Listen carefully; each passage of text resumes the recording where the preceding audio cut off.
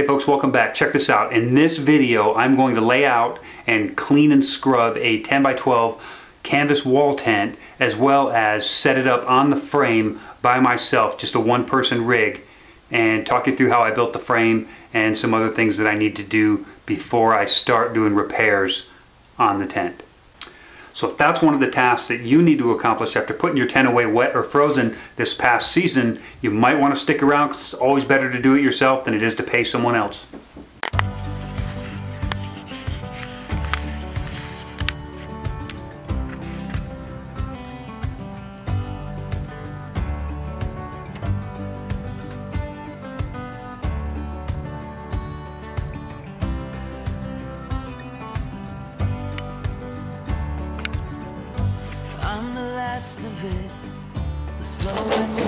First thing I had to do was find a bucket big enough, and this old plastic drum seemed to be about the right size.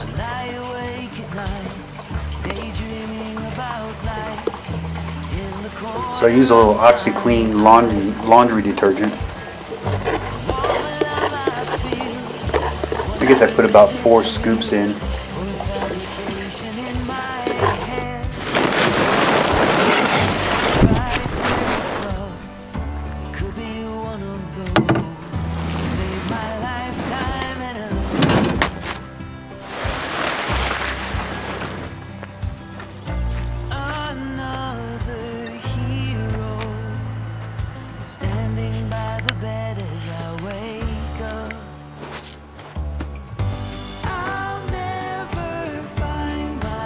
Now I'm trying to stuff the whole tent in, but I started with the end that was the most soiled, which would have been the back, the back end, and uh, didn't turn out that I had enough water in the barrel, but it served its purpose. Right now I'm just agitating the bottom, and it's soaking down really good that the dirtiest side. Now I'm laying out two separate tarps so that I have enough ground cover so that my wet tent doesn't start picking up more mud and grass stains and make it even worse than it was to begin with. Second I appear, all bets rough, my dear. Just because I can't go. So you can see that this side of the tent is still dry, but that's okay. Uh, it accomplished what I needed it to, and it was soaked down the bottom side or the back side.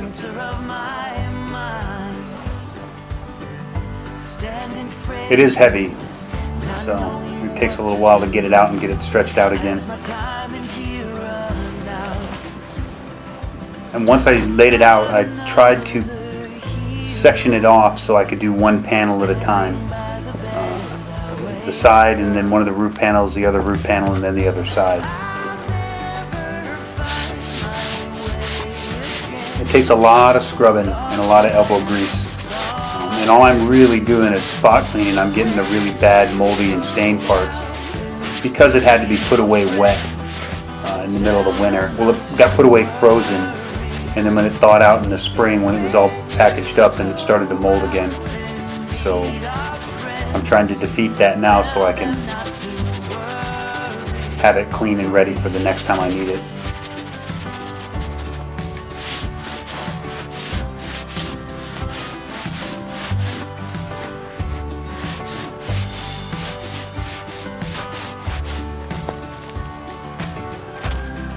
And once that panel is cleaned pretty good, I did some heavy spot cleaning, but I cleaned the whole panel anyway just to remove any, any loose debris and dirt and try and get out some of the other stains.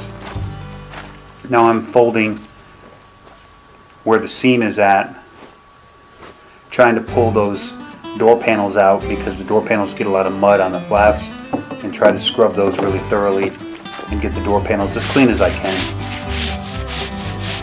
Again, it doesn't have to be perfect. I just want it to be in a decent state of maintenance.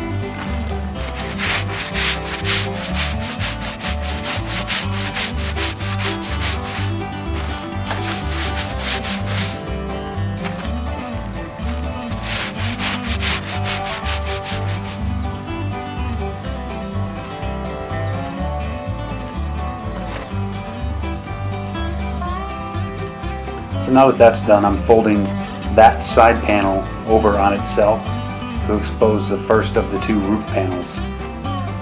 And I'll leave them slightly underlapped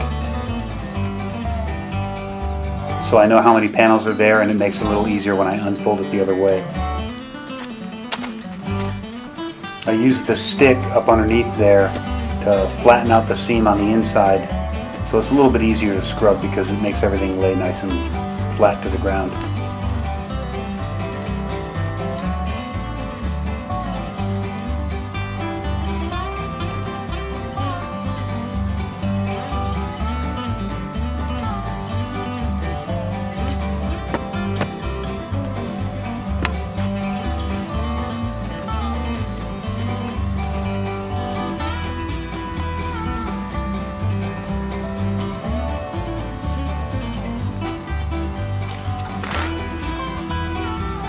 Course just a lot more scrubbing.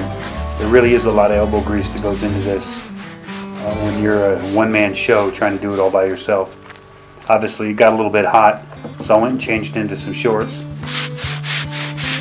I think I'm starting to get blisters now on my hands.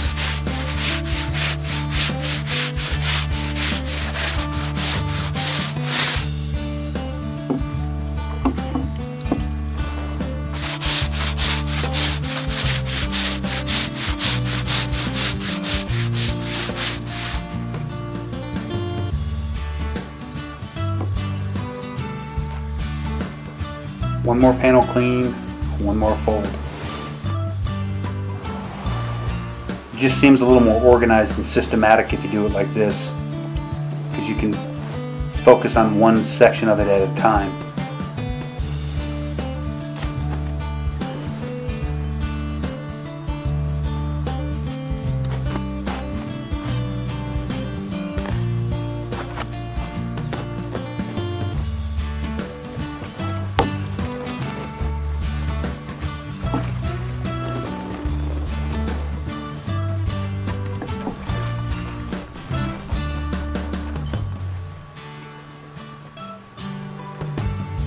The hot spots on my hands were getting to be a little too much, so I decided to go find a pair of work gloves. And uh, I should have done that from the start. So if you're going to do this, I suggest putting gloves on when you begin.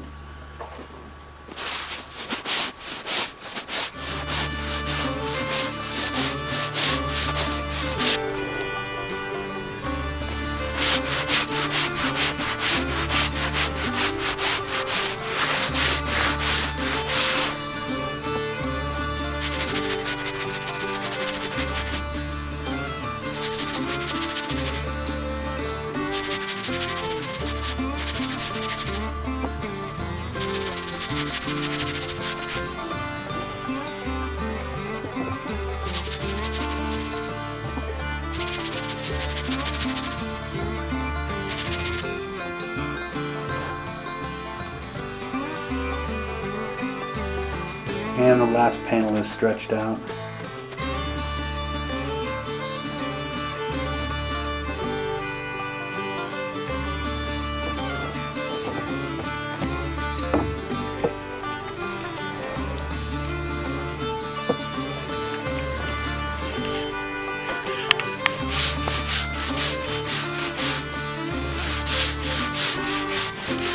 Now that I've got it all scrubbed and laid out, uh, I kind of want that soap to soak in, so I thought I'd take a little while and go get a small run in.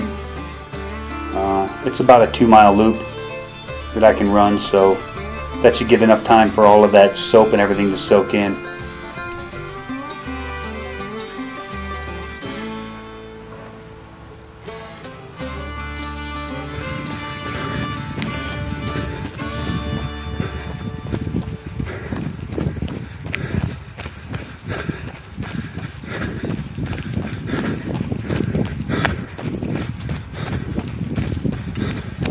The intent is when I get back to just hose this thing off and clean it out really good.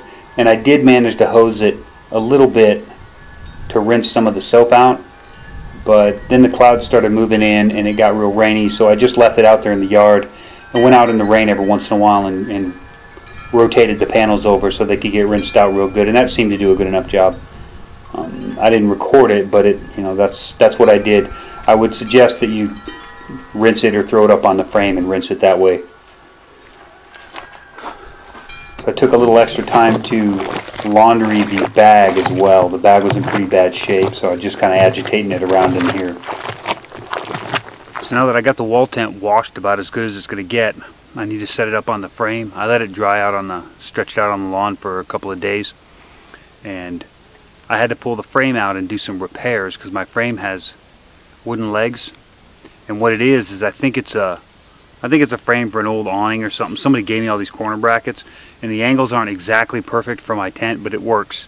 And all I did was I ripped down some 2x4s and then trim off these corners with an axe. Uh, so you got a one and a half by one and a half and trim the corners rounded so they fit so you can fit a square peg in a round hole. And then uh, that's all my frame is. Um, it's cheap it's free. Uh, the tent was free I traded a knife for it. So uh, I don't have a whole lot invested in it and I don't really want to.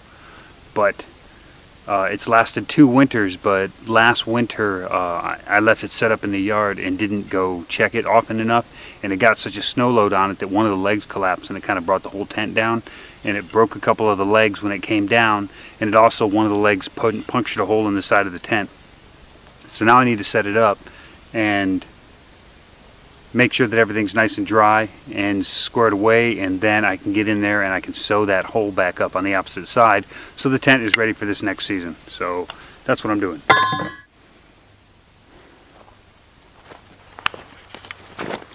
So if you see the colors on all the pieces, what I did was I assembled the frame and cut the pieces all individually to the proper length and because the corner brackets aren't the exact right ones for my tent, each piece, each section had to be a little bit different. So the blue is for the beams, like the main beam and the side beams, and the red is for the rafters. And then I was going to use white on the walls, but I didn't have a white, so I just used gray. So those are the three colors in the pattern. So it makes it real easy to just throw all the parts out on the ground, lay them out where they go. You know, all six of the wall wall beams are the same length all six of the rafters are the same length and all six of the um, of the beams are the same length. So anytime one breaks I can just grab one of the other ones and make a replacement part that's exactly the same size. Now I do a crosshatch with the ropes over the rafters to just kind of hold the main piece together while I drape the tent over so it doesn't fall apart underneath me. But it serves as double purpose because those it'll have two ropes running along the inside of the of the roof that I can hang lanterns or a jacket or anything that I need to just hang in the middle of the of the tent is easy enough to accomplish. I also sometimes run the same system along each side in order to have a place to hang my pots and pans and rifle and gear bags and stuff like that if I take the tent out hunting. It's pretty easy to set one of these tents up, even if you have a, a more traditional frame design with only one person. You just set up the roof or the truss area, drape the tent over, and then build one wall and then build the other wall. It's not a real complicated task for one person. Now what I didn't do is I didn't guy it out because I intend to take it back down. It's just up there to, to finish drying so that I can do some repairs on it. And eventually I want to build a canvas rain flag for it that also extends out to be a kitchen porch so I can put some of my kitchen cooking equipment on the outside of the tent.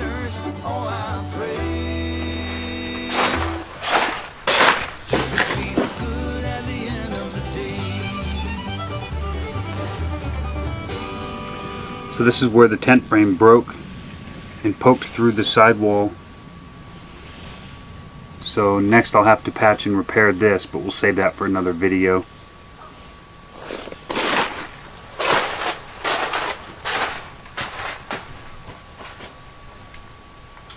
So overall it looks pretty good inside. It's a lot cleaner than it was, uh, believe it or not. I'll probably never get it white again without bleaching it, which I don't want to do.